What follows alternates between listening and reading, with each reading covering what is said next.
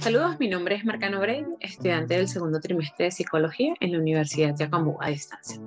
El día de hoy voy a hablarles un poco sobre la antropología cultural desde el área de la etnografía, desde mi propia experiencia.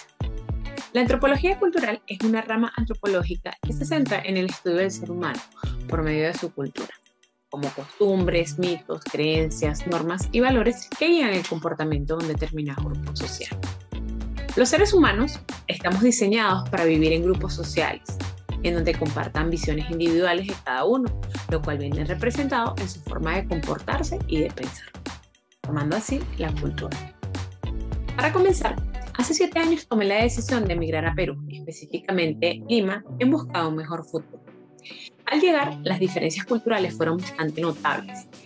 Eh, tal es el caso del el cambio climático ya que en Perú se dan lo que son las cuatro En cuanto a su etnografía, en su mayoría es de tipo mestizo. Según resultados arrojados en el último censo realizado el pasado octubre del 2018, eh, en base a una población de 31,2 millones de habitantes, eh, arrojó los siguientes resultados.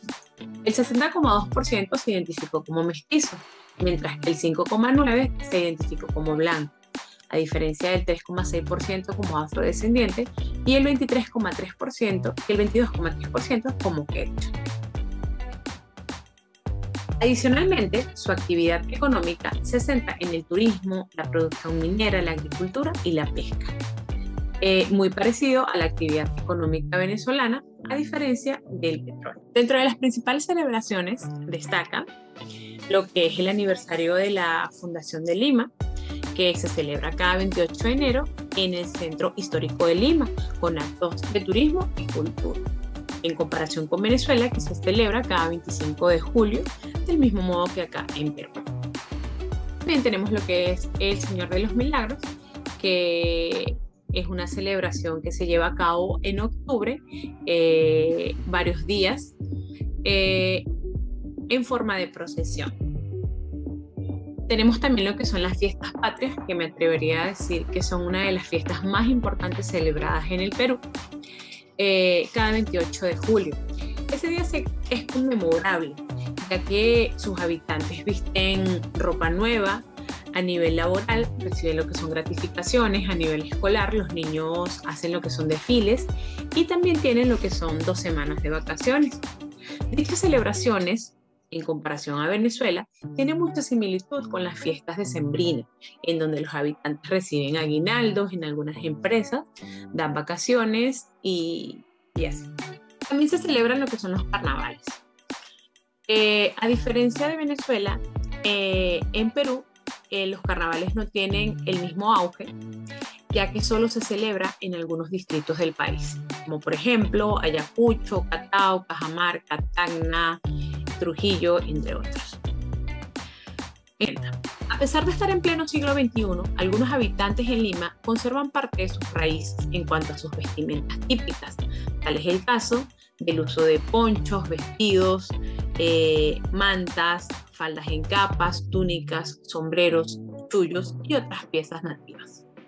En cuanto a las lenguas nativas, en Perú, al igual que en Venezuela, el lenguaje principal es el español, a diferencia de algunas provincias en Perú en donde predomina lo que es el quechua, mientras que en Venezuela, en nuestros pueblos indígenas, tienen sus propios dialectos, tal es el caso del Pemón, el Guarao, el Guajiro, entre otras. En cuanto a su gastronomía, a diferencia de Venezuela, la gastronomía peruana es sumamente amplia, donde destaca principalmente la comida marina, tales como el ceviche, el arroz con marisco.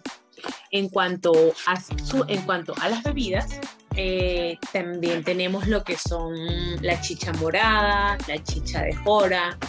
Y en cuanto a sus postres, tenemos también lo que es la, el arroz con leche, tenemos lo que es la mazamorra.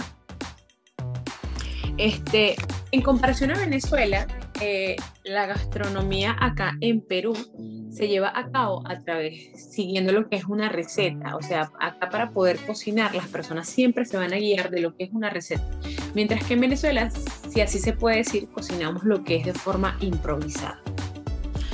Debido a la amplia gama gastronómica en Perú, cada año se celebra lo que es la Feria Internacional Gastronómica de Lima, conocida también como Mistura. En cuanto a su arquitectura, eh, acá la estructura en Perú es colonial, en su gran mayoría, en donde en comparación a Venezuela, sus casas se destacan por carecer de tejados y conductos de desagüe. Esto se debe a la falta de lluvia en la ciudad de Lima. Al igual que en sus calles, no hay lo que son las alcantarillas, ya que las ven innecesarias. Al radicar en Lima por más de siete años, pude notar su extensa gama cultural, la cual se mantiene vigente en el caso educativo con la finalidad de conservar sus raíces en todo momento inculcándole a los jóvenes a través de sus bailes y uso de trajes típicos la importancia de sus antepasados. Visto desde el punto antropológico, pude aprender y comprender mucho más sobre sus creencias, mitos, culturas y actividades al tratar con cada uno de ellos. Muchísimas gracias.